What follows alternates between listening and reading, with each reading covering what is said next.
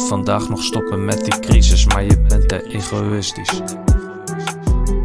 En het is heel eenvoudig. Het is heel binair. Het is heel makkelijk. Het is niet non-binair, zeg maar. Het is heel binair. Er zijn maar twee partijen.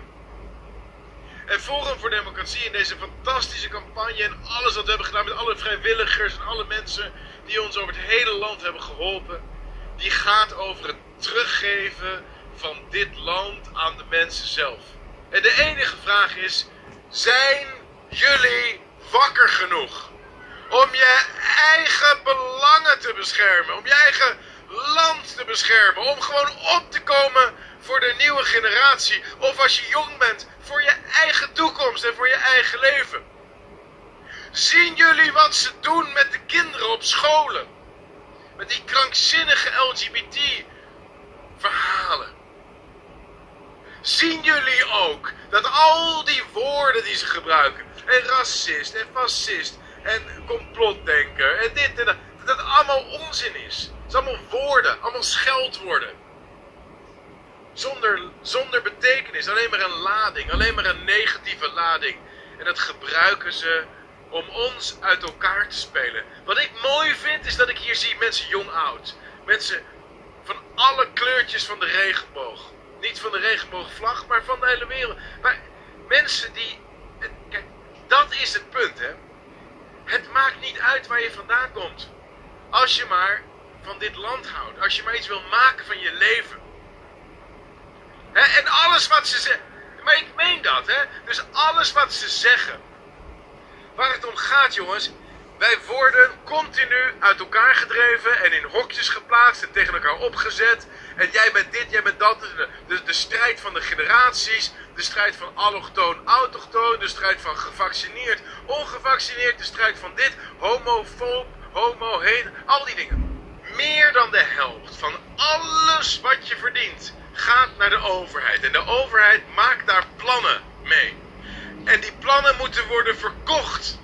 En daar zijn de media voor. En wat ze doen is ons elke keer tegen elkaar opzetten en verhalen verzinnen over wat er aan de hand is. Het kan een pandemie zijn, of het kan het kwade Rusland zijn, of het kan eh, eh een of ander verhaal over een aanslag zijn, 9-11. En dan gaan we vervolgens zeven landen in het Midden-Oosten helemaal kapot bombarderen, wat een schande is, wat nooit had mogen gebeuren. Elke keer is er weer een nieuw verhaal waar ontzettend veel belastinggeld voor gebruikt wordt. En wij zijn een beweging die de macht terug wil geven aan jullie. Aan ons allemaal, aan de mensen in Nederland. De minister, minister betekent dienaar. Dat is de betekenis van minister. Een minister is een dienaar. Een dienaar van het volk. Die zou jullie met u moeten aanspreken. Even meteen de portemonnee, maak het meteen over. Geloven dat het allemaal wel goed zit. Maar het zit niet goed, jongens. Het is hartstikke rot, het systeem. Het moet veranderen. Het moet veranderen. Daarom doen wij dit.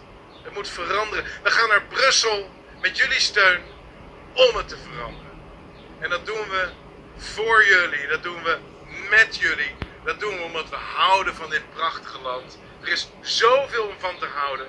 Maar er zijn ook een paar dingen die we echt met elkaar moeten bestrijden. En als we dat hebben gedaan, dan zal ik de allereerste zijn om, om, om, om te stoppen met de politiek. Ik ben dit nooit gaan doen omdat ik zo graag politicusje wilde spelen.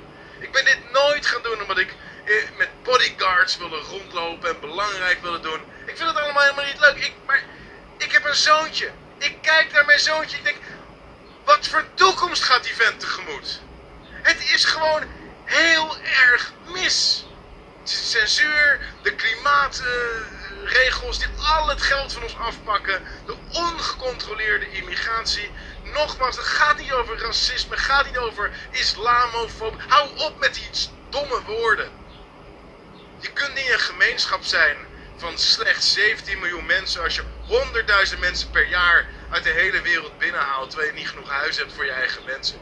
LGBT, hormoonblokkers vanaf 11 jaar. Laat me je één ding laten zien. Het NOS Journaal voor Kinderen. Terwijl jullie allemaal aan het werk zijn. Iedereen moet werken. Zowel mannen als vrouwen. Twee verdieners. Iedereen moet werken, want het leven is te duur geworden.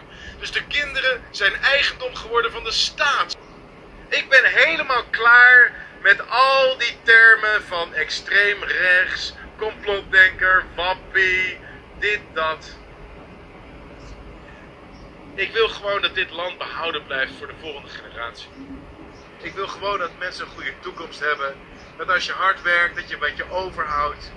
Dat je wat, wat, wat, wat kapitaal kan opbouwen. Dat kinderen veilig kunnen opgroeien zonder dit soort transgender indoctrinatie. Dat de mensen die in de dienstplichtige leeftijd zitten hier niet worden uitgezonden naar Oost-Oekraïne. Daar zijn ze gewoon serieus op aan het speculeren. Vergis je. Ik wil dat onze hele prachtige kustlijn niet vol komt te staan met windturbines, zoals nu al op veel plekken het geval is.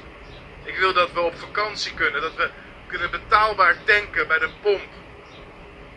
Dat boodschappen een beetje betaalbaar zijn. Ik wil geen insecten hoeven eten, maar gewoon normaal vlees van dieren die grasgevoerd zijn. Ik wil iets dat tot enkele decennia geleden heel erg normaal was. Iets wat niemand betwiste. Iets wat iedereen wilde. En wat volgens mij nog steeds de meeste mensen willen. Alleen we worden gebrainwashed. We worden meegesleurd in verhalen over klimaatramp en Poetin en corona en allemaal flauwekulverhalen. En jullie worden daarin meegesleept. En je omgeving wordt erin meegesleept. En we worden allemaal tegen elkaar uitgespeeld. En de staat en een aantal grote bedrijven. Die vullen hun zakken, die rekenen zich rijk, die genieten van die tegenstellingen. En het is tijd dat we daar paal aan perk aan stellen. Donderdag 6 juni vandaag. Laat deze dag de geschiedenis ingaan als een dag waarin wij dwars door de censuur op de sociale media, dwars door de totale blokkade in de mainstream media, toch een waanzinnig verkiezingssucces hebben gerealiseerd. Als je nog niet hebt gestemd, ga nu stemmen.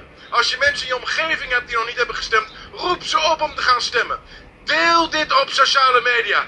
Laat van je horen. Met z'n allen. Wij kunnen dit land terugveroveren. We kunnen dit land doorgeven aan de volgende generatie. En we kunnen vrienden zijn met z'n allen. Waar je ook vandaan komt, wat je levensovertuiging ook is. Als je van dit land houdt, dan maken we er samen iets prachtigs van. Dank voor jullie komst. Dank voor deze waanzinnige reis door ons mooie land. Ik hoop dat jullie ons allemaal steunen. En ik hoop dat jullie stemmen op onze lijsttrekker.